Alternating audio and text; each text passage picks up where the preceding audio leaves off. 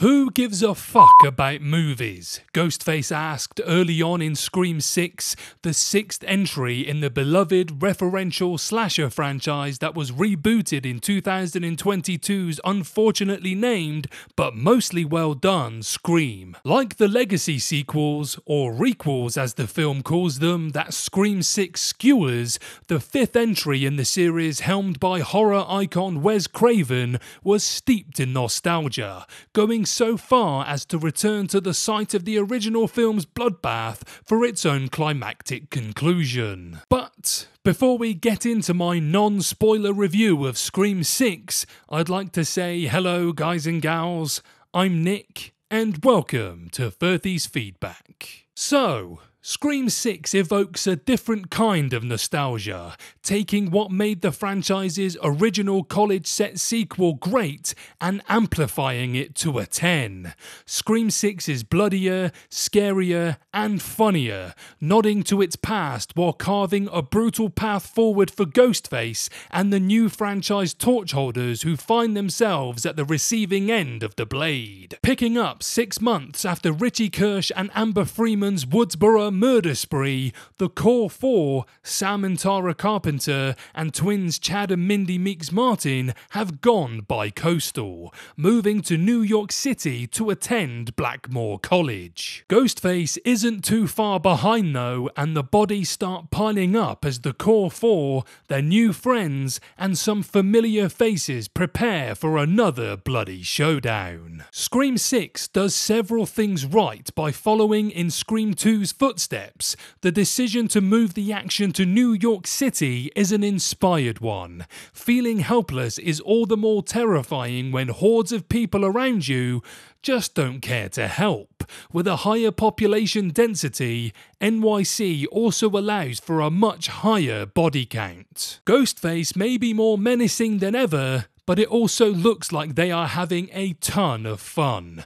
The heroes might not be as they are chased through subway cars and down dark alleys, but the raging killer with a sharp tongue and an even sharper knife is gleefully slashing their way through Manhattan, and Scream 6 is all the better for it. Naturally, Mindy, taking her throne as the new Randy Meeks, gets another excellent monologue, taking aim at franchise filmmaking, name dropping the deaths of everyone from Dewey Riley to Luke Skywalker to prove that no one is safe again. The only one who is safe is Sidney Prescott, whose absence is briefly mentioned before the slashing continues. Luckily, there are a few legacy characters left. Like the second film, Gale Weathers gets a standout chase scene and her first chilling call from Ghostface. It's the return of Hayden Panettiere's Kirby Reed that will elicit the most cheers despite an unfortunate wig and a medium sized role. What's clear once and for all, though, is that this new era of Scream is all about the core four and their future. Or lack of it. As Jamie Lee Curtis once said, it's about trauma, and Scream 6 hasn't forgotten that. The film deftly tackles the effects that Scream 2022's massacre had on its survivors, but it doesn't lean on this too heavily to become a thesis on the subject.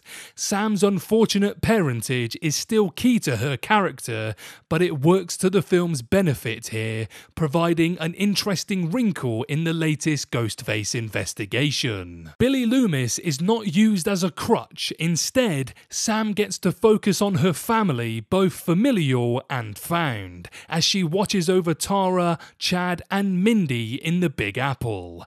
The new Scream films have found a formidable cast to carry the franchise forward, with both Savoy Brown and Gooding proving to be MVPs once again. Barrera's performance this time around is also a step up from the wooden inflection sometimes seen in 2022 Scream, as the In the Heights breakout gets a much meatier arc that promises interesting things to come. Of course, it's Ortega who's the star here. After a stellar 2022 that saw her become the newly anointed Hollywood Scream Queen, Scream 6 sees Ortega in top form.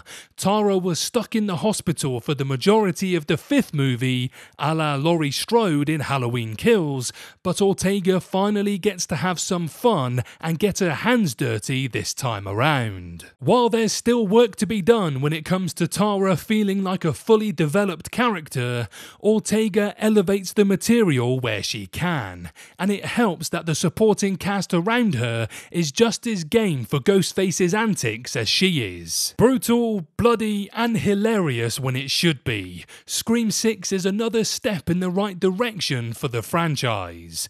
2022 Scream certainly assuaged fears that the franchise could live on even without the guiding hand of Craven, but the crew at Radio Silence, including directors Tyler Gillett and Matt Bettinelli Olpin, know what they're doing, and they prove that from the very beginning of this new entry. Scream 6 may very well have the best opening kill since Drew Barrymore was sliced and diced in the California countryside, and that in itself is enough to inspire confidence in what's to come.